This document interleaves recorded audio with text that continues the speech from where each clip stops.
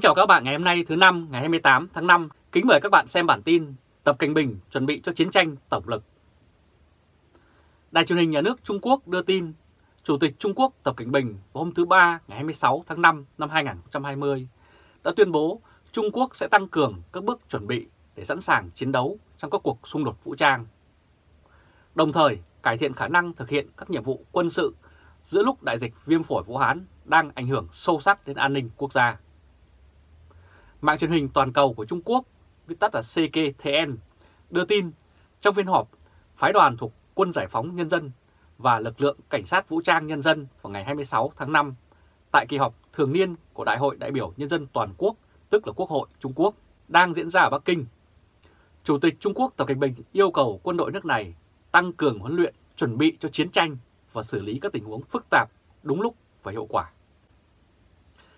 Đây là hình ảnh Chủ tịch Trung Quốc Tập Kinh Bình tại phiên khai mạc kỳ họp Quốc hội thường niên tại Đại lễ đường Nhân dân ở Bắc Kinh vào hôm 22 tháng 5 năm 2020. Ông Tập còn yêu cầu quân đội Trung Quốc bảo vệ cái gọi là chủ quyền quốc gia, an ninh và các lợi ích phát triển cũng như đảm bảo sự ổn định chiến lược tổng thể của nước này. Ông nói, cần phải tìm hiểu cách huấn luyện và chuẩn bị cho chiến tranh vì nỗ lực kiểm soát dịch bệnh đã được bình thường hóa. Cần phải tăng cường chuẩn bị cho việc chiến đấu vũ trang, linh hoạt huấn luyện và khả năng thực hiện tác chiến và cải thiện khả năng quân sự của chúng ta để thực hiện các nhiệm vụ quân sự. Ông Tập nói đại dịch đã tạo ra những thách thức lớn cho quân đội, nhưng sự kết hợp các lĩnh vực quân sự, dân sự và chính trị của Trung Quốc là một lợi thế trong cuộc khủng hoảng. Đồng thời, ông Tập đánh giá cao nỗ lực cũng như đóng góp của quân đội Trung Quốc trong việc kiểm soát và phòng ngừa dịch COVID-19. Ông còn nhấn mạnh tầm quan trọng của việc đạt được những mục tiêu và sứ mệnh tăng cường quốc phòng và lực lượng vũ trang cho năm 2020 trong lúc duy trì kiểm soát COVID-19 hiệu quả. Lời kêu gọi của ông Tập với quân đội được đưa ra trong bối cảnh Trung Quốc mới tuyên bố tăng 6,6% ngân sách quốc phòng bất chấp những khó khăn trồng chất mà nền kinh tế gặp phải do ảnh hưởng của đại dịch. Đây là hình ảnh các đại biểu quân sự đeo khẩu trang tới đại sảnh đường Nhân dân trước phiên khai mạc Đại hội đại biểu Nhân dân ở Bắc Kinh vào ngày 22 tháng 5 năm 2020. Thế lực ly khai tại Tân Cương, Tây Tạng, xu hướng độc lập tại Đài Loan, nhưng đứng đầu là nguy cơ xung đột với Mỹ là những lý do giúp quân đội Trung Quốc được tăng ngân sách trong lúc tăng trưởng kinh tế của Trung Quốc có dấu hiệu giảm rõ rệt trong những năm gần đây và giảm sâu vì virus corona. Trả lời đài FI của nước Pháp, chuyên gia Mathieu, giám đốc chương trình châu Á, Viện Tư vấn Chính trị Montaigne của Pháp nhận định như sau. 6,6% là mức tăng trưởng khá nhanh, kể cả có thấp hơn so với mức tăng chi tiêu chính thức cho Trung Quốc trong năm năm qua vẫn dao động trong khoảng trên 7% đến 10%. Như thế có nghĩa là với mức tăng này, ngân sách quân sự của Trung Quốc năm 2020 sẽ là 178 tỷ đô la, nói cách khác là đứng thứ hai thế giới sau Hoa Kỳ. Tăng trưởng kinh tế của Trung Quốc trong vài năm gần đây thường vẫn ở vào khoảng từ 6 đến 7%. Nhưng giờ đây, Ngân hàng Thế giới đánh giá mức tăng trưởng của Trung Quốc chỉ dưới 3% và có thể còn tồi tệ hơn nữa. Ở Trung Quốc, người ta thực sự cũng có những cân nhắc và thắc mắc về vấn đề là lần đầu tiên ở Quốc hội, Thủ tướng Lý Khắc Cường đã từ bỏ ấn định chỉ tiêu tăng trưởng của đất nước. Kết quả đó là không còn có sự tương quan hoàn toàn giữa chi phí quốc phòng và tăng trưởng kinh tế. Đây là điểm mới vì tất cả những năm trước, mức tăng của ngân sách quốc phòng vẫn nhỉnh hơn một chút so với mức tăng trưởng kinh tế của Trung Quốc. Thông điệp trước đây là công cụ quốc phòng phải đi kèm cho sự trỗi dậy hùng cường của Trung Quốc. Nhưng năm nay có khác đi. Tín hiệu gửi đi là các chương trình hiện đại hóa quân đội không bị ảnh hưởng vì bối cảnh khủng hoảng kinh tế Trung Quốc. Các mục tiêu an ninh quốc gia vẫn như vậy. Trung Quốc đang ở trong giai đoạn cạnh tranh gay gắt với Hoa Kỳ. Trung Quốc phải chi phí những gì để cần duy trì tính liên tục trong chương trình hiện đại hóa quân đội. Trước đó vào hôm 23 tháng 5 năm 2020, phát biểu trước hàng chục cố vấn kinh tế hàng đầu tại Bắc Kinh, Chủ tịch Trung Quốc Tập Cận Bình nói rằng Trung Quốc đang theo đuổi kế hoạch phát triển mới, trong đó lưu thông trong nước đóng vai trò chủ đạo. Đây là hình ảnh kỳ họp lưỡng hội Trung Quốc được khai mạc từ ngày 21 tháng 5 vừa qua. Ông Tập Cận Bình nói tiếp, về tương lai chúng ta phải coi nhu cầu trong nước là điểm khởi đầu và là nền tảng chắc chắn khi chúng ta đẩy nhanh xây dựng hệ thống tiêu thụ nội địa hoàn chỉnh và thúc đẩy mạnh mẽ cải tiến trong khoa học, công nghệ và các lĩnh vực khác. Phát biểu của ông Tập cho thấy Bắc Kinh đang tiến tới từ bỏ chiến lược lưu thông quốc tế lớn được áp dụng vào những năm 1990, giúp thúc đẩy tăng trưởng và đưa Trung Quốc trở thành nền kinh tế lớn thứ hai trên thế giới trong những năm qua. Hu Xidong, một nhà kinh tế độc lập ở Viện Công nghệ Bắc Kinh nhận định như sau. Đó là chuẩn bị cho kịch bản tồi tệ nhất, bao gồm tách rời với Mỹ và thậm chí với toàn bộ thế giới phương Tây. Theo ông Tập, Trung Quốc đối mặt với những luồng gió rất bất lợi từ bên ngoài, bao gồm suy thoái kinh tế toàn cầu, gián đoạn thương mại và đầu tư quốc tế, chủ nghĩa bảo hộ, chủ nghĩa đơn phương tràn lan và rủi ro địa chính trị.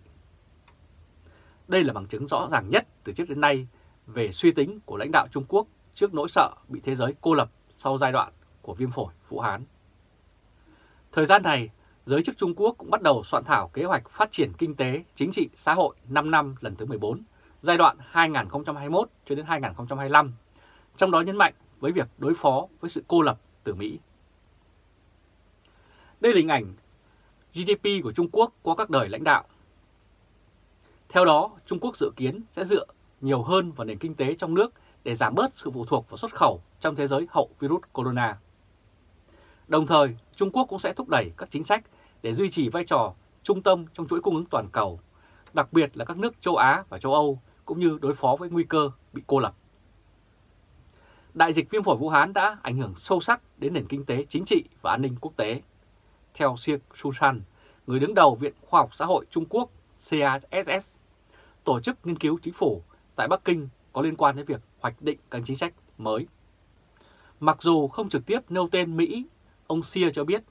một vài quốc gia giàu có đã cố gắng lảng tránh trách nhiệm và đổ lỗi cho người khác vì những vấn đề của họ và nhấn mạnh rằng chính sách bảo hộ và đơn phương của họ khiến nền kinh tế toàn cầu có nguy cơ tan rã.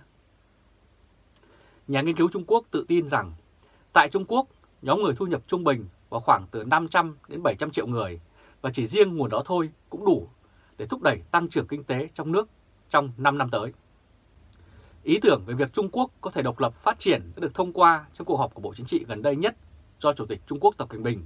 người có thể lãnh đạo Trung Quốc quá năm 2025 chủ trì. Ông Tập cho biết Trung Quốc sẽ sử dụng mô hình phát triển mới bao gồm cả vòng tròn kinh tế lớn trong nước và quốc tế thay vì chỉ dựa vào thị trường nước ngoài. Một mặt, Trung Quốc sẽ không từ bỏ thị trường quốc tế, nhưng mặt khác, Bắc Kinh sẽ ngày càng nghiêng về tăng cường năng lực sản xuất để đáp ứng nhu cầu của thị trường nội địa khổng lồ. Xu hướng này đã được thể hiện rõ ràng trong kế hoạch hướng Tây mới được công bố gần đây. Theo đó, Trung Quốc sẽ tập trung đầu tư phát triển kinh tế ở các khu vực phía Tây đất nước để bù đắp thiệt hại cho các tỉnh phía Đông bị ảnh hưởng nặng nề bởi đại dịch viêm phổi Vũ Hán. Sau 2 tháng bị trì hoãn do dịch viêm phổi Vũ Hán,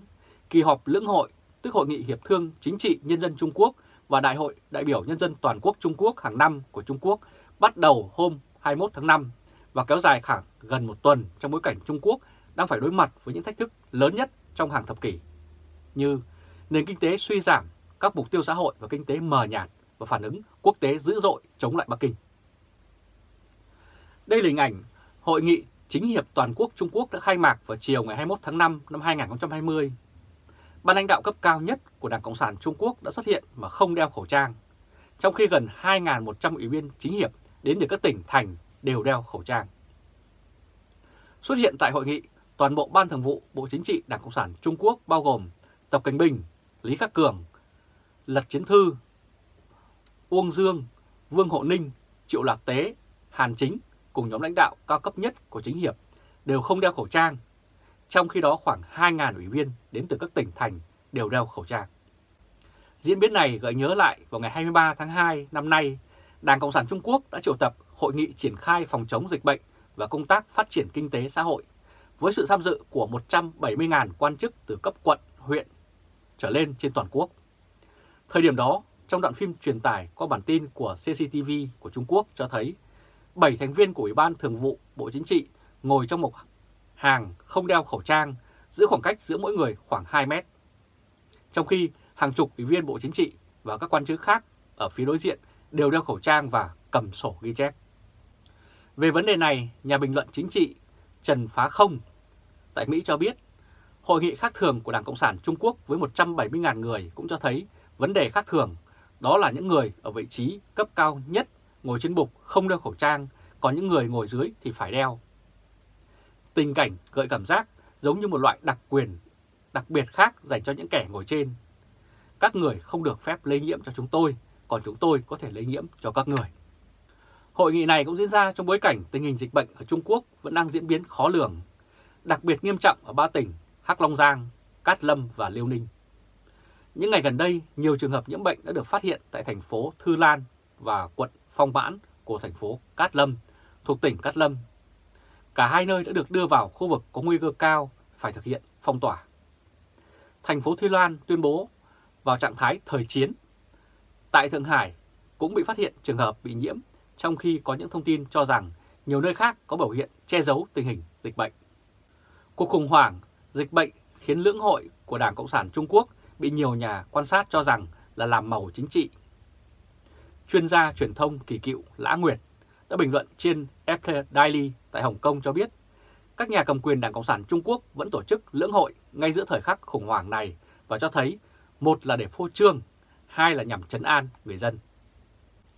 Lưỡng hội năm nay còn diễn ra trong khi Bắc Kinh đang bị quốc tế phản đối dữ dội vì cách thức xử lý dịch thời gian đầu, khiến nó lây lan ra toàn thế giới và gây cho cái chết cho hơn 320.000 người và con số này vẫn tăng lên mỗi ngày. Đây là hình ảnh nữ Tổng thống Đài Loan Thái Anh Văn tại lễ nhậm chức ở Đài Bắc, Đài Loan vào ngày 20 tháng 5 năm 2020. Trong khi đó, quan hệ với Mỹ đang ở mức thấp nhất chưa từng thấy trong nhiều thập kỷ bởi một loạt các hồ sơ nóng bỏng bao gồm chiến tranh thương mại, cuộc chiến công nghệ, hồ sơ Đài Loan, Hồng Kông và cả trách nhiệm trong đại dịch viêm phổi Vũ Hán của Trung Quốc. Người phát ngôn của Bộ Quốc phòng Trung Quốc Ngô Khiêm cho biết